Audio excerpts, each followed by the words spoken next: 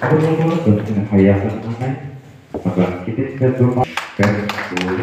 Hayatan sudah mana? আমাদের তিনি শিক্ষা ও আপকার তিনি সুরক্ষা তিনি পরম্পরা